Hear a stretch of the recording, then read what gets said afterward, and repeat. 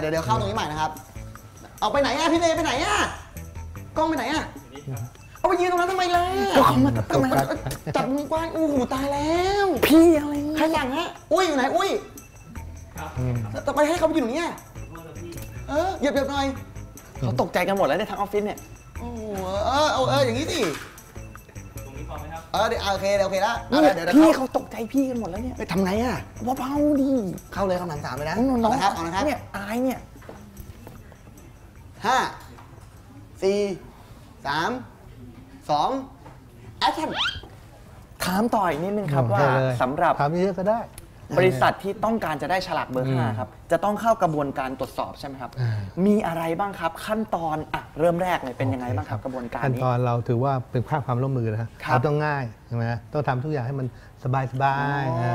ก็สมัครเข้ามาบอกว่าท่านมีผลิตภัณฑ์อะไรที่เราออกเบอร์ห้านะปัจจุบันอะอ่ายกตัวอย่างเครื่องปรับอากาศครับนะเครื่องปรับอากาศนี่เราก็ต้องการเอ่อตรวจเครื่องปรับอากาศของท่านเนี่ยเป็นรุ่นไหน มีค่า BTU เท่าไหร่หมายถึงว่าอืมค่าทำความเย็นเท่าไหร่แจกแจงรายละเอียดนะครับโมเดลอะไรยี่ห้ออะไรเราก็เอามาสมัครกับเราแล้วเอามาตรวจครับว่าอุปกรณ์ภายในมันเป็นไงอืมอ่าเราต้องตรวจถึงดออิ่งนะข้างในครับผมนะครับเพราะว่าเหตุผลนึงก็คือถ้าไปเปลี่ยนเช่นคอมเพรสเซอร์หรือว่าไอตัวคอยเนี่ยนะครับค่ามันจะเปลี่ยนไปเลยครับเราต้องมาตรวจก่อน พอตรวจได้ปุ๊บเราก็ส่งทดสอบที่สฟอ.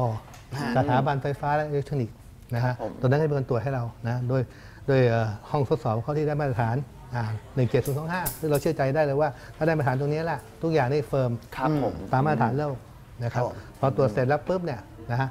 ได้ค่าประสิทธิภาพตามที่เรากำหนดครับแล้วก็จะแจ้งไปที่บริษัทครับเขาว่าท่านผ่านเบอร์ห้าแล้วนะ ให้ท่านตอบกลับมาอ๋ออ่าถ้าท่านไม่ตอบกลับมาปุ๊บอดนะฮะเลยไม่ภายใน 15 วัน เราไม่ให้ฉลากแล้วอ๋อเราถือว่าท่าน expire ไปโดยปริยายครับแต่ถ้าเราถ้าท่านได้รับแล้วท่านตอบเรามานะครับ ท่านต้องขอฉลากมาด้วยครับเหตุผลหนึ่งว่าไม่ใช่ส่งเรามาตรวจเฉยๆอยากรู้ผลแต่ไม่ได้ขอฉลากครับอ่าเมื่อผ่านแล้วจะต้องขอฉลากเรามาด้วยพร้อมกับหนังสือตอบรับมาครับผมครับขั้นตอนเราแค่นี้ง่ายๆแต่แล้วขอฉลากมาปุ๊บเราก็เตรียมฉลากไว้ให้อืมท่านมารับฉลากให้ฟรีครับฟรีฟรีอ่าอีกการให้เราก็ยินดีเลยครับว่าท่านต้องการเท่าไหร่เขียนมาเลย ไม่จำกัดจำนวน โมเดลนี้ท่านต้องการ หมื่นหนึ่งจัดให้อ๋อโมเดลนี้ต้องการแสนก็จัดให้ครับไม่จำกัดปัญหาจำนวนเลยนะไม่จำกัดจำนวนครับโอ้สติกเกอร์แผ่นหนึ่งก็ไม่ใช่ถูกๆแล้โอ้นะครับเกือบบาทนะถ้าเป็นเครื่องปรับอากาศครับผมนะฮะ เราให้เต็มที่อืมเพราะเนื่องจากว่าเขายินดีจะร่วมโครงการกับเรา ครับแสดงว่าเขาคิดว่าของเขาดีๆอะอะเขาโชว์ได้ครับอ่าใช่ไหมฮะเราก็เอาฉลากไปช่วยผลัเลกยดัน ถูกดันทีนี้ขอถามต่อเกี่ยวกับเรื่องฉลากเลยนะครับ อืมถ้าเกิดฉลากจริงกับฉลากปลอมเนี่ยครับ อืม ประชาชนอย่างเราเนี่ยบางทีอืมไม่รู้นะฮะ จะดูยังไงครับ แล้วอืมองค์กรไหนครับ ที่จะเป็นคนคอยตรวจสอบว่าอันไหนจริงอันไหนปลอมแล้วดำเนินการยังไงครับคือมันมีถ้าทำผิดเขียนกำกับเลยไหมครับว่า อันนี้ปลอมนะถ้าได้อย่างนี้เรายิ่งชอบถามอันนี้ปลอมนะ ขายท่องตลาด แต่เพราะเรามีมาตรฐานอยู่ถ้าไม่ต้องห่วงครับอ๋อเออเราเรามีฉลากปลอมเราเจอเยอะครับเจอเยอะเหรอเรามีครับรูปแบบเลยฮะเนี่ยโหอย่างนี้อย่างนี้บ้างเยอะแยะเลย เรามีรูปแบบเลยว่าครับเข้ามาอย่างนี้ถ้าท่านไปเดินเอ่อแถวๆคลองถมครับท่านจะเจอเลย เป็นจุดแรกที่เราไปเจอทุกวันอาทิตย์ครับผมนะอันนี้ก็ ถ้าถ้าถ้าพูดกันตรงนี้จะเข้าใจว่าคลองถมที่ไหนนะคครัรับบก็จะมีฉลากปลอมนี่เยอะครับฉลากปลอมเนี่ยวิธีการคุมของเราใช่ไหมเราจด patent เราเรียกว่าเป็นผืนลิขสิทธิ์อะครับจดผมไว้แล้ว ถ้าใครเอาของเราไปเรียบเรียนแบบเนี่ยเรามีสิทธิ์ฟ้องได้ครับอ่าแล้วถ้าเกิดอันไหนเป็นปลอมจริงเนี่ยบางทีดูยากประชาชนไม่เข้าใจใช่ไหมฮะขอให้ท่านเนี่ยไปเดินในร้านสินค้าใหญ่ ๆ นะครับครับไม่ว่าอ่าที่ไหนก็ตามไม่เป็น modern trade เนี่ยครับ ก็จะมีพวกเนี่ยไปสังเกตตรงนั้นก่อนอืมนะครับดูก่อนฉลของจริงดูฮะว่าเขาเป็นยังไงอ๋อเพราะบางทีมันตัดครึ่งหัวเนี่ยถือเป็นเบอร์ห้าฮะอันนั้นก็เมื่อเร็วๆนี้ก็มีร้านอาหารขายเอ่อซูชิตัดไปครึ่งกันว่า อันนี้เป็นเบอร์ห้าตัดครึ่งแต่ก็ตัดหัวนี่คืออะไรครับตัดหัวเพราะว่าเนื่องจากเรามีหัวกะโหลกเบอร์ห้าของเราจะมีรูปเป็นกะโหลกอะฮะเป็นแบบปึ๊กแล้วก็ปึ๊บอ่าอ๋อแล้วจะมีเบอร์ห้าเขาตัดไปครึ่งแล้วไปแปะที่ซูชิครับว่า ซูชินี่เบอร์ห้าก็คือหมายถึงว่าของเราก็ล้อมล่าติดตลาดเพราะว่าเราทำมากันยี่สิบปีอืมคือบอกนะครับตรงเลยว่าตั้งแต่ผมยังเด็กแล้วนะฮะครับโกงมาตลอดใช่ไหมบ้านคุณ ไม่ใช่ฮะผมเห็นฉลากเบอร์ห้าตั้งแต่ยังเด็กครับ จะมีโฆษณานะครับอืมของฉลากเบอร์ห้าเห็นแล้ว โอ้โหรู้เลยเนี่ยประหยัดแน่นอนนะฮะอ่านะมันมีหน่วยงานหนึ่งคอยช่วยเราด้วยเหมือนกันเขาเรียกว่าสสคบ ครับครับอ่าย่อมาจากอะไรครับเอ่อสมาเอ่อสมาคมคุ้มครองผู้บริโภคอ๋อที่เขาเนี่ยที่เขาไปรถทุบกันรถรถรถไม่ดีไปทุบกันโชว์แล้วเข้ามาดูกันอ๋อแต่มันไม่ดีนั่นนะฮะเขาก็ช่วยเราไปดูด้วยซีดงซีดีนะฮะนะทั้งหลายโอ้เสียดายนะฮะทำไมฮะโอ้โหแต่ละยังไม่เรื่อได้งดูเลยนะฮะยังไม่ดูเลยนะฮะแจ่มด้วยโอ้นะโหเขาจะช่วยดูตรงนี้ด้วยแล้วก็จะมีคนบอกจริงๆแล้ว บริษัทต่างๆเขาก็ดูอยู่แล้วด้วยว่าครับผมของเขาเป็นไงอืมเฮ้ยใครไปปลอมรุ่นนี้แล้วก็มาบอกเราเราก็ไปตรวจอ่าโดนเลยโดนเลยครับ แล้วก็ฟ้องได้ ครับผมนะคครัรับบผมแล้วตัวตัวฉลากเบอร์ 5 นะครับ รูปแบบมันเนะครับ มีการปรับเปลี่ยนบ้างไหมครับ อ๋อ แล้วถ้ามีเนี่ยจะปรับเปลี่ยนทุก ๆ กี่ปีครัโอ้บ นี่เป็นคำที่ดีจริงขอบๆคุแล้วณฮะ ฮะ จริงๆแล้วรูปแบผมบ เขียนในสคริปต์อะ เบอร์เบอร์ห้านะครับถ้าปรับเปลี่ยนปุ๊บเนี่ยเช่นงานเราโฆษณาเนี่ยครับ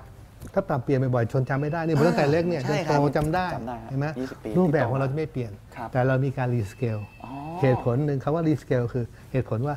อุปกรณ์ไฟฟ้าเนี่ยเมื่อมันใช้ไประยะหนึ่งมันมีค่าประสิทธิภาพดียิ่งขึ้นอ๋ออ่าเมื่อมีภาพเทคโนโลยีมันพัฒนาอ่ขึ้นฮะดีขึ้น แต่ก่อนตู้เย็นนะฮะหนาปึกเลยตู้เย็นเบอร์ห้าครับอันนี้บางจ่อยเลยฮะนะฮะเราก็มีการรีสเกลโทษนะฮะนะครัเขาบเขาเรียกบางเชียบนะบางเชียบางจอยเชียครับผมจ่อยมันหวานครับได้ครับโอเคมันก็บางเชียบอ่า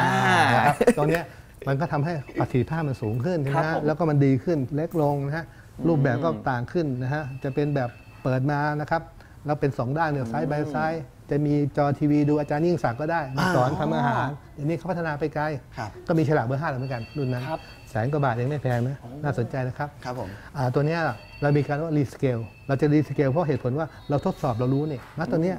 ตู้เย็นเป็นเท่าไหร่เครื่องปรับอากาศเท่าไหร่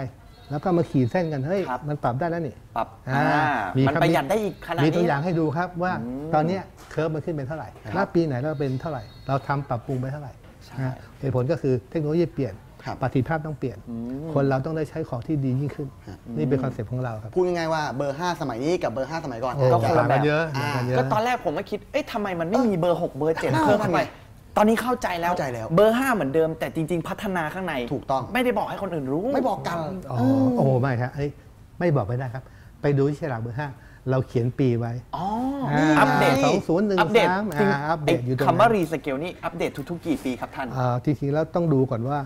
อ่าณปัจจุบันเนี้ยผลทดสอบเป็นยังไงบางทีไม่ใช่ว่าเราไปพูดเนี่ยผู้ผลิตตามไม่ทัน ตามไม่ทัน เพราะว่าอะไรฮะเป็นเรื่องความร่วมมือ เราจะไปบอกให้เขาผลิต เพื่อของที่ดียิ่งขึ้นมันเป็นไปไม่ได้ นะเราต้องค่อยๆกัน แล้วเนื่องจากเราต้องประชุมกับผู้ผลิตก่อน อ๋อหรือผู้นำเข้าว่อประโอมาณเคเท่าไหไหมร่อ่า ครับครับอ๋อเนี่ยจริง ๆ คือบางทีเขาเขียนกำกับไปหมดแล้วนะครับ แต่ว่ามันอาจจะตัวเล็กครับแล้วประชาชนมองแต่เบอร์ 5 ไง ครับ อย่างอื่นเนี่ยเขามีข้อมูลอะไรให้ครับบ้านผมครับดูด้วยขายแว่นขยายครับ ฮะเอ้ย ไม่ใช่ เราดูเห็นด้วยตาเปล่าอ๋อเราไม่ต้องใช้แว่นขยายครับนะฮะอืมถูกเนี่ยต้องช่วยดูเบอร์นะฮะว่ามันปีไหนครับ อ่าแล้วท่านจะได้ของที่อัปเกรดดีขึ้นไปเรื่อย และถามต่ออีกนิดนึงครับ ผู้ประกอบการที่จะต้องการฉลากเบอร์ 5 เนี่ยครับ ไม่ต้องเสียตังค์เลยเหรอครับๆอืมถูกต้องเข้ามาทำได้เลยเหรอฮะลงทะเบียนฟรีเลยเหรอครับ free option เลยครับโอ้ให้เฮ้ยแก่นะเห็นเรื่องว่าเป็นเรื่องภาคความร่วมมือฮะครับถ้าเขาเราทำอุปกรณ์ปัจจุบันเรามี 20 กว่าผลิตภัณฑ์ครับถ้าเราต้องการความร่วมมือมากๆเนี่ย ถ้าเราไม่ออฟเฟอร์เขาโอ้เขาก็ไม่เข้ามาแล้วแล้วเรามีโฆษณาด้วยเห็นไหมโฆษณาภาพรวมดูเราเห็นไหมฮะว่าเราโฆษณาให้เขาด้วย ไม่ใช่ว่าแจกฟรีครับนะฮะโอ้โห เพื่อให้ผู้ผลิตเห็นว่า เออมาดีอยู่กัจรินงๆนะเข้ากับฟรีฉลากก็แจกฟรีครับนะครับโฆษณาให้ด้วยครับผมนะไม่มีที่ไหนแล้วครับทำนะฮะก็นี่แหละมีที่แกนเรานี่แหละครับนะผมน้องจำไว้เลยว่า ถ้าทำให้ได้เนี่ยถ้าเราเอากฎหมายบังคับ ของเมืองไทยมักจะวงแตก แต่ถ้าครับเกิดเราแตกกันเอ่อช่วยแบบเนี้ยนะนะอ่าคุยกันได้ถั่วๆกันไปอ่าครับผมอารมณ์อร่วยกันไป ตอนนี้เราก็ทราบแล้วครับว่าไอ้ฉลากเบอร์5เนี่ยมีการพัฒนาสเกลของมันครับแต่ครับทีนี้ครับผมอยากทราบว่า มันมีการพัฒนาไปในด้านอื่นๆอีกไหมครับ โอ้แน่นอนครับเราอยู่ 20 ปีเนี่ยถ้าไม่พัฒนาเนี่ยเราคงจะไม่มีใครจำได้วันนี้ครับ แล้วจะมีตัวหนึ่งที่เราจะลอนโปรแกรมตัวนี้ออกไปนะฮะครบ 20 ปีที่เซ็นน้องๆใช้โทรศัพท์อะไรอยู่เนี่ยผมใช้ส Samsung มาร์ทโฟนอ่าซัมซุงอ่ามีอะไรไหม iPhone ไอโฟนเห็นไหมเรารู้เลยว่าณตอนเนี้ยทุกคนก็มาจิ้มจิ้มจิ้มกันครับนะฮะผมสมาร์ทโฟนตอนนี้เราจะทำแอปพลิเคชันเบอร์ห้าครับอ่าอ่าแอปพลิเคชันของเราเนี่ยเป็นแอปที่โหลดฟรีครับนะฮะอ่าแล้วครับ ท่านโหลดเข้ามาแล้วท่านมาดูจิ้มเข้าไปนะครัฮะบว่าตอนเนี้ยท่านต้องการจะรู้ว่าอุปกรณ์เบอร์ห้าของเราเนี่ยที่มันมี 20 กว่าชนิดเนี่ยครับฮะที่ไหนได้เบอร์ห้าบ้างครับอ่ารู้เลย แล้วเป็นห้างไหนขาย ไม่พอมีราคาอีกโอ้โหนะเอามาเปรียบเทียบกันอีก ถ้าใครเคยใช้เอ่อโน้ตบุ๊กหรือธรรมดาจะเห็นว่าเราเวลาเข้าไป search เนี่ยเราจะเปรียบเทียบว่าว่ายี่ห้อ A B ครับอันนี้เราบอกว่ายี่ห้อ A B ก็เปรียบเทียบได้อ่าประสิทธิภาพเป็นยังไงประหยัดอ่าไฟมีหมดแค่ไหนเลยขึ้น โอ้โหบอกหมดทั้งเราทำทั้ง iOS แล้วก็ Android โอ้โหครอบคลุมนะฮะครอบคลุมครับตอนนี้มีเกมด้วยนะครับอ้ามีเกมด้วยมีเกมให้เล่นด้วยเกมก็เบอร์ก็ห้านะครับเกมเบอร์ห้าจะทำเป็นเกมเสร็จแล้วท่านอาจจะได้มีรางวัลมีของติดไม้ติดมือด้วยโอ้เออนี่นี่นี่นี่นี่ทุกอย่างเอาแล้วครับแหมเรามี แล้วก็มีการ sell hard sell ก็มีเป็นบางครั้งบางคราวเพราะเราให้เขาทำดูเรื่องเอ่อโฆษณาประชาสัมพันธ์เขาด้วยครับผมเว็บนี้เพื่อช่วยให้คนที่ต้องการซื้ออุปกรณ์เบอร์ห้าเนี่ยสบายยิ่งขึ้นเฮ้ยจะซื้อที่ไหน แล้วยังไม่พอนะ Google Map มาใช้อีกไอ้ร้านนี้อยู่ตรงไหน ปักหมุดเลย ผมอยู่แถวอยุธยาจะซื้อครับตรงนี้ อ่าร้านนี้นะ ก็จะมีให้เขาส่งเอ่อใส่เป็นเป็น Google Map ครับที่น้องใช้กันอ่าสะดวกไหมสะดวกมากครับอืมอืมผมเหลืออีกคำถามสุดท้ายแล้วครับทำไมตั้งแต่ผมอยู่ในกฟผมาก็หลายเดือนอยู่นะครับทำไมไม่เคยเห็นฝ่ายที่ตรวจสอบฉลากเบอร์ห้าเลยครับ พี่จ๊อบเคยเห็นไหมเออเฮ้ยเออไไเคมันมันอยู่เคตรงไหนอะครับ อันนี้ประเด็นหนึ่งก็คือ จริง ๆ แล้วเราชงเองกินเองไม่ได้ ต้องมี third party อ๋ออ่าไม่ใช่ว่าอีแกตรวจแล้วให้เบอร์ แล้วใครจะเชื่อถือนะฮะเอออ๋อนี่คือเหตุผลใช่ไหมเหตุคผรับลสิครับครับเนี่ยต้องเป็นหน่วยเราต้องเป็นหน่วยงางานนภายนอกอ๋อและเป็นหน่วยเพื่องานความที่โปร่งใสอ่าตรวจสอบได้ถูกต้องอ๋อเป็นหน่วยงานที่ได้รับการรับรองว่ามีครับมาตรฐานการทดสอบ เราเลยบอกว่าเราดูทั้งหมดละครับที่สถาบันไฟฟ้าอิเล็กทริกหรือเรียกว่าสฟอสฟอนะครับอ่าตัวเนี้ย เขาเป็นสถาบันที่สังกัดกระทรวงอุตสาหกรรมครับผมครับมีผมมาตรฐานเป็นหน่วยงานภาครัฐอย่างเงี้ยอืมนะฮะแล้วได้ 1725คือมาตรฐานโลกเขายอมรับว่าตัว ISO 1725เนี่ยห้องทดสอบเนี่ยได้มาตรฐานโอ้โหเราก็ทดสอบที่นั่นเลยครับอุปกรณ์เนื่องจากเขาทดสอบเราได้ครับนะฮะแต่ทั้งนี้ทั้งนั้นก็ยังมีทดสอบที่อื่นเหมือนกันนะครับแต่สพอเนี่ยจะทดสอบเรามากที่สุดครับก็ยังมีกรมวิทยาศาสตร์ก็มีเราก็ส่งเทสพัดลมดูดอากาศไป สามารถไปดูได้ ดูได้เหรอคแถรับวไหนโอ้อะครับสบายเลยครับอยู่แถวบางปูเนี่ยแถวครบาบงเลยปูเฮ้ยนะฮะ สามารถเข้าไปสอบได้ครับถามเดี๋ยวติดคือต่อได้ ผมสามารถเห็นวิธีกรรมกรรมวิธีการตรวจสอบเลยนะสบายครับเขายินดีอยู่แล้วเขาปะเปิดเองปะนะฮะปฏิโทเขาเปิดโอกาสให้ดูได้ ปฏิโถปฏิเถเฮ้ยน่าสนใจ เอาน่าสนใจอ่าอ้าวโอ้โหก็วันนี้โอ้โหนอกจากจะได้ความรู้เรื่องของประวัติความเป็นมา ครับ เกี่ยวกับเรื่องของ วิธีตรวจสอบฉลากอ่าโอ้โหหลายอย่างวิธีที่ผู้ผลิตจะเข้าโครงการนี้ ครับไม่ต้องเสียเงินด้วย ไม่ต้องเสียเงินนะฮะ แถมได้จำนวนไม่จำกัดด้วยนะครับฉโอ้ลากโหนี้อ่า เอาแล้ว แถมยังได้งานต่อไปอีก อ่าได้ไปสืบข้อมูลที่สบางฟปู อบางปู เออมโอ้โห วันนี้และที่ขอบสำคัญขาดไม่ได้แอปพลิเคชัน โอ้โหนี่อันนี้เรียกได้ว่าครอบใหม่เลย ทุกอย่างใหม่เลยนะนะครัฮะ บ โอเคครับ วันนี้ต้องขอบคุณครับผมท่านวิรพงศ์เอี่ยมรัตน์มากขอบคุณมากครับผม ครับครับ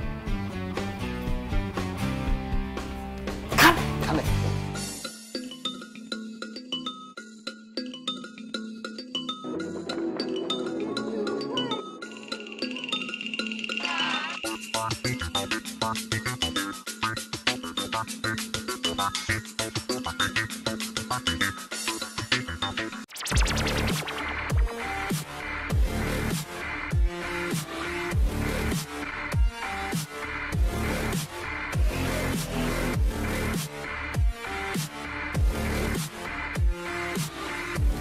าเลย มาทำให้โลกเราสวย พวกเรามาช่วยกันนะ รับรู้ด้วยกัน แล้วทำให้โลกนี้สดใส อยากให้โลกน่าอยู่วันนี้ เป็นโลกที่เราฝันใฝ่จะสวยอย่างไร